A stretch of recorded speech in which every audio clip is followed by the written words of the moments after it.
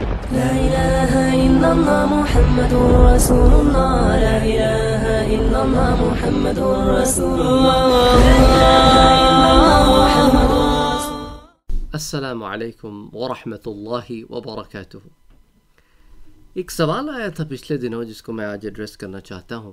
وہ ایک بہن کا سوال تھا۔ انہوں نے کہا کہ میرے شوہر نے ایک سے زائد شادی کی، تو میں اور میری سوکن تھی۔ میرے شوہر جو ہیں وہ بہت اچھے آدمی تھے آم، کیونکہ اب ان کے وہ شوہر نہیں رہے۔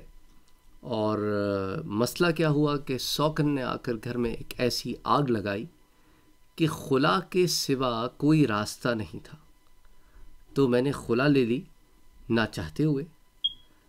اور اس شوہر کو مجھے چھوڑنا پڑا جس کو میں بہت چاہتی اور وہ شوہر بھی میرے ساتھ اچھا تھا۔ لیکن حالات ایسے پیدا ہو گئے یا کر دیے گئے۔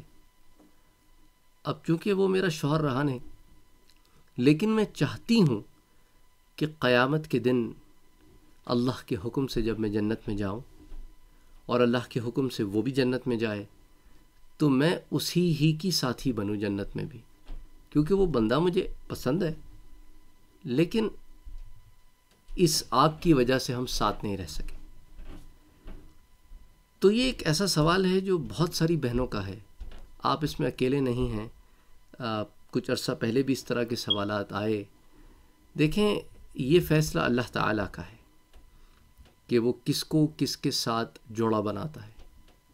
آپ کی یہ خواہش ہے، آپ اس خواہش کا اظہار اللہ تعالیٰ سے کیجیے۔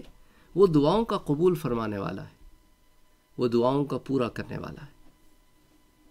اس لیے آپ اس سے اچھے کی امید رکھیے۔ کہ وہ جنت کی زندگی میں آپ کو اور اس شوہر کو ساتھ رکھے، جو آپ کے ساتھ اتنا اچھا ہے۔ یا تھا۔ دوسری بات جو آپ نے ریس کی، جو کہ بہت ہی امپورٹنٹ بات ہے کہ جس سوکن نے میرا گھر خراب کیا، اس کی تو بظاہر دنیا بھی سنورتی نظر آتی ہے اور آخرت میں بھی اس کو وہی شخص ملے گا جس سے اس نے شادی کی ہے۔ اب دیکھیں اس میں دو چیزیں ہیں۔ پل سرات سے گزرنے کے بعد، جیسا کہ میں نے پہلے بھی دروس میں آپ سے ذکر کیا کہ ایک اور پل پر سے گزرنا پڑے گا، اور وہاں حقوق العباد کا حساب دینا ہوگا۔ اور حقوق العباد کے ضمن میں پھر اپنی نیکیاں دوسروں کے پلڑے میں ڈالنی ہوں گی تو جو سوکنیں سوکن بننے کے بعد، چاہے پہلی بیوی ہو، دوسری بیوی ہو، تیسری ہو، چوتھی ہو ڈزنٹ میٹر لیکن وہ ناانصافی کی راہ اختیار کر کے دوسری عورت کا گھر برباد کرتی ہے، اسے اس گھر برباد کرنے کا اسے صلہ دینا ہوگا اپنی نیکیوں کی صورت میں۔ اب آپ مجھے بتائیں کہ زیادہ اچھا سودا کون سا ہے؟ یہاں رہ کر اچھی طریقے سے رہیں، ثواب بھی کمائیں، اور شوہر کو بھی ذہنی سکون ہو، اور دعائیں سمیٹیں۔ یا یہاں پر کسی کی زندگی خراب کریں، اس کی آہیں بھی لیں، بد دعائیں بھی لیں، اور آپ کو نہیں پتہ کہ اس کی بد دعاؤں کا اثر آپ تک ہی محدود رہے گا یا آپ کے بعد بھی جاری رہے گا۔ اور آخرت بھی خراب کریں، جو کہ دائمی ہمیشہ رہنے والا گھر ہے۔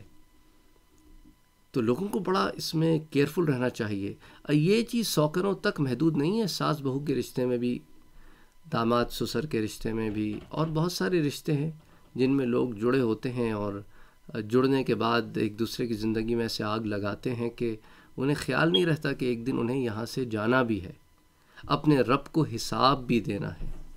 تو ان چیزوں کا اگر بندہ خیال رکھے نا کہ ایک دن میں نے حساب دینا ہے مالک کی یوم الدین، جو ہم نماز میں پڑھتے ہیں، ہر نماز میں، ہر رکت میں پڑھتے ہیں، اس کو سمجھیں کہ ایک دن ہے جس دن میں نے اپنے رب کو ان تمام چیزوں کا جواب دینا ہے۔ تو جو جواب دینے کی فکر کرتا ہے وہ پھر اپنے معاملات اچھے رکھتا ہے۔